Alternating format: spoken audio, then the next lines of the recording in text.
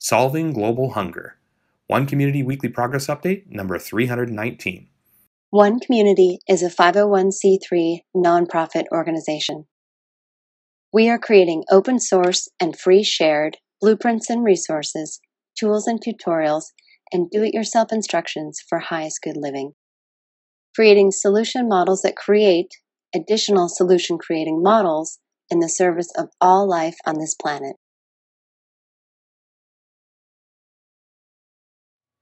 My name is Jay Sable, and I'm the Executive Director of the One Community 501c3 nonprofit organization. This is our weekly progress update number 319, May 5th, 2019 edition. And if you're not familiar with it, One Community's mission is to bring together people with a consciousness for the highest good of all life on this planet and to build sustainable and self-replicating teacher demonstration hubs as a pathway to global sustainability. And the way that we're making them self-replicating is by demonstrating this easy enough, affordable enough, and attractive enough so that they'll spread on their own.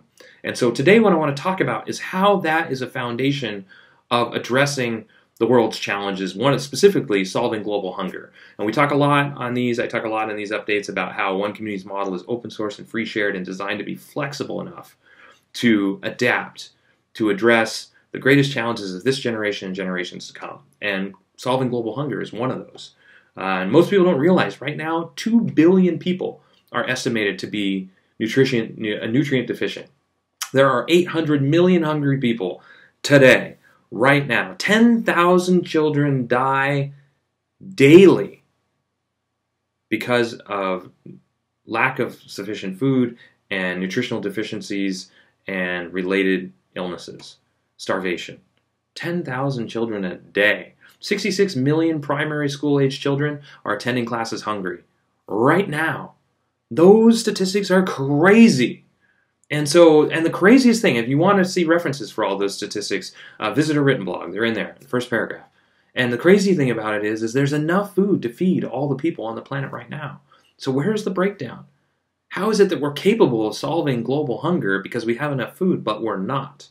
And so one community's approach to this is to, well, let's talk about it. Why is it that we're not solving? If there's already enough food, clearly it's not affordable enough, or it's not affordable, it's not profitable enough to deliver that food to where it's needed most, or it's not convenient enough to deliver that food to where it's needed most. And so, one community's approach to this is rather than a handout, let's use the internet. Let's use the power of permaculture. Let's use the power of, of guerrilla gardening and teaching people what they need to restore our deserts to growing environments, to restore our wastelands. Right now, we have areas that have just been destroyed through traditional agriculture that through permaculture could be rejuvenated and grow healthy, locally grown, organic, healthy, amazing food for people. And so the one community model and everything that you see happening in the background of this video is designed to teach people what they need to provide the tools, the tutorials, the resources, and the do-it-yourself instructions for replicating everything that you see happening here in the background include the housing, the food, the energy, as well as open source education programs, uh, global, global stewardship program, where co cooperation and collaboration between different communities working together to add to the open source sustainability suite of tools and resources and do-it-yourself instructions, and to build teacher demonstration hubs that can teach people how to replicate them too, with one community being the first. And the way that this solves global hunger or addresses solving global hunger is by setting up sustainable villages that can provide everything that they need to be self sufficient and that also flourish most, like one community is designed to do, when they share what it is that we're doing. When we share what it is that we're doing, we invite people to come to one community, to visit one community, experience it, to stay in a cob home or an earth bag home or a shipping container home. And if they like it, to be able to take what it is that they've learned, to eat foods that they may have never eaten before, heirloom foods, nutritious, high quality foods that have a history no genetically modified food here. No fertilizer here. No artificial fertilizer here. Lots of great compost, though. Healthy, nutritious food, locally grown, prepared on site, so people can taste the difference. So people can see what's involved and how much labor is involved and how much time and energy is involved and how much free time they have outside of it because they're working and living cooperatively and collaboratively instead of competitively. This is what one community is doing. And through doing that, by creating that open source free shared model and making it demonstrating it's easy enough, affordable enough, and attractive enough.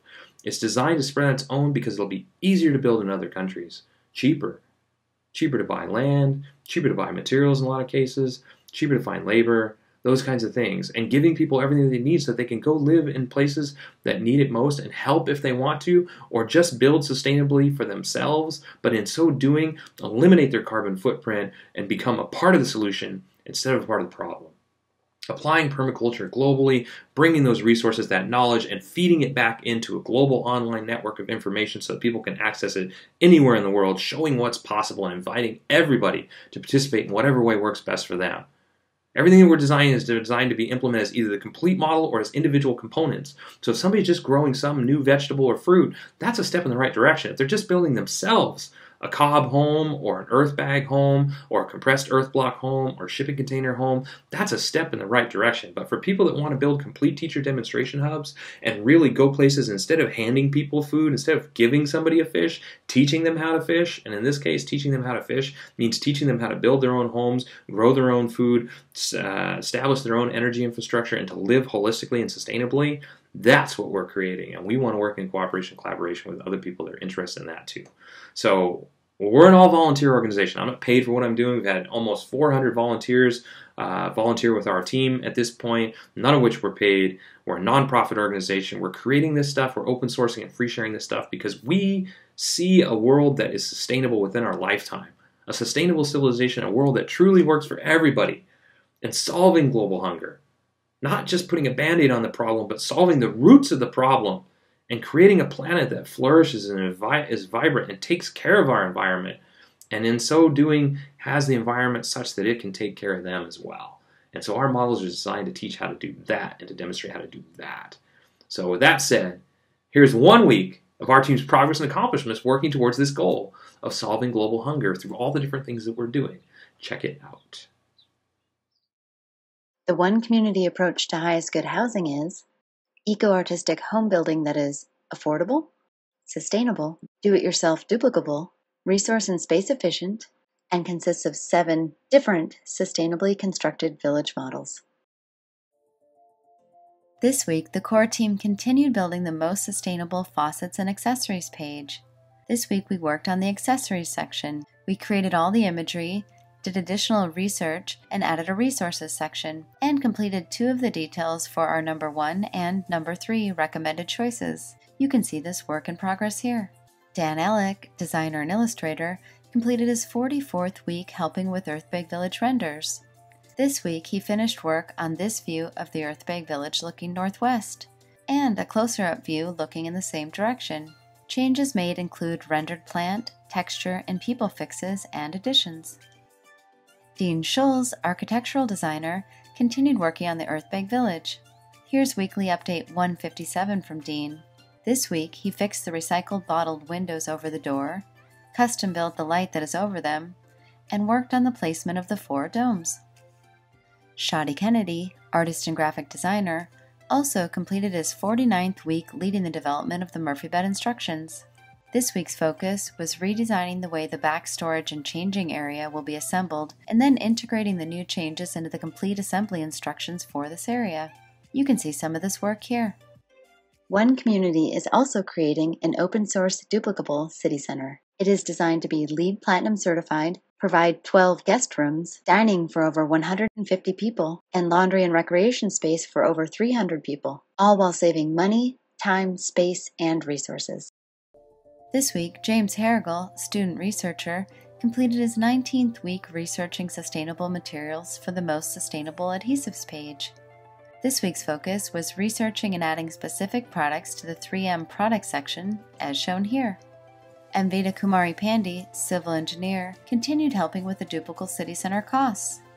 This week, she fixed all the imagery on Kitchen spreadsheet and updated all the paint and stain details so they match the separate research done by James to identify the most sustainable options available for these. You can see some of this work here. Tanya Griffin, Aubrianne Boyle, and Allie Marsh, interior designers from Lotus Design Pros, completed their 19th week helping with the Duplicable City Center interior design details. This week's focus was finishing the kitchen storyboards and initial research and development of the first bedroom storyboards.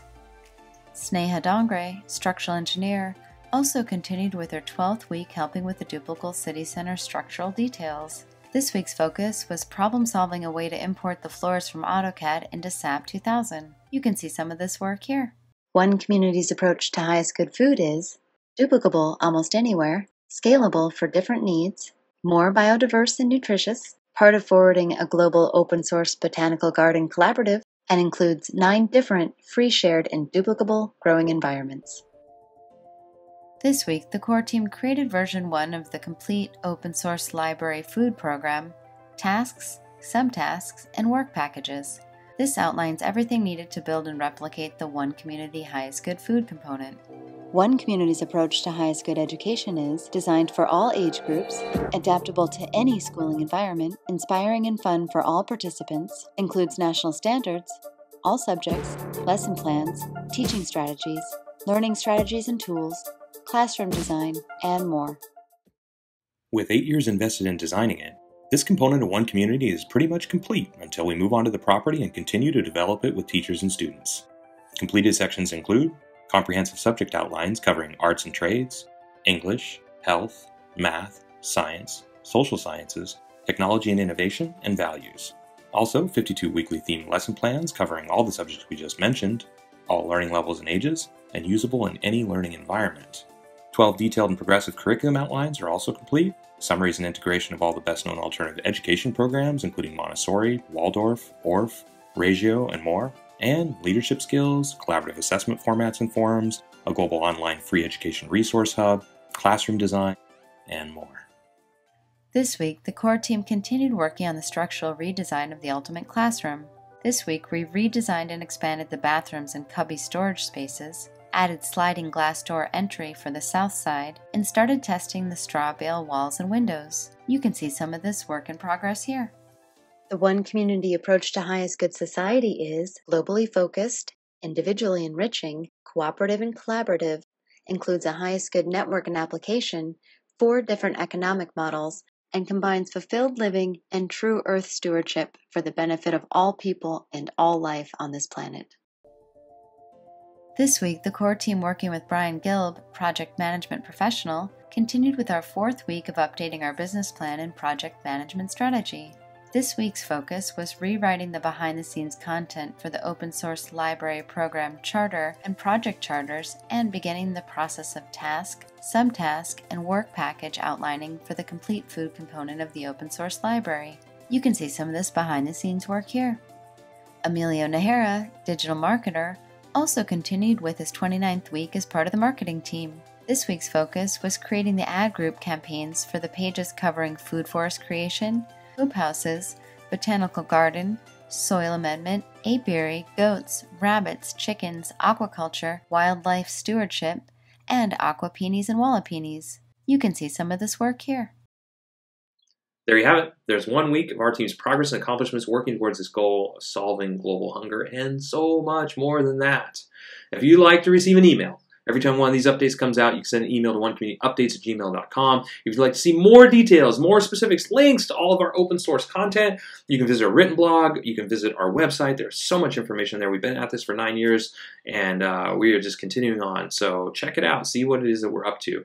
And of course, if you'd like to help out, visit our helping page. Lots of different ways to help out. Uh, the easiest of which, of course, is sharing our, helping us share information on social media. Subscribe to our YouTube channel. It's a great way to help us out. You know, just follow us and see what's up. Ring that bell so you get the weekly updates and so you can tune in when you're interested. And uh, and we're on all the social media networks make it as easy as possible. Also, we're on LinkedIn, Tumblr, Reddit, Twitter, Pinterest, Facebook, uh, Instagram. We're on all the different social media networks, about 15 others as well. So you can share information uh, wherever you like and access our information wherever you prefer. And uh, yeah, thanks for watching until the end. If you're somebody who's donated to our project, we're all unpaid volunteers, so 100% of your donation goes towards forwarding our open source mission and helping us create more open source content. It does not go to paychecks for me or anybody else. Uh, so we appreciate that. If you're somebody who's commented on our videos or said, hey, great job or anything like that, or sent us feedback, all that helps as well. It's all a step in the right direction. So thanks for following our progress. Thanks for watching what we're up to. And until next week, we will, of course, keep on keeping on. Thanks.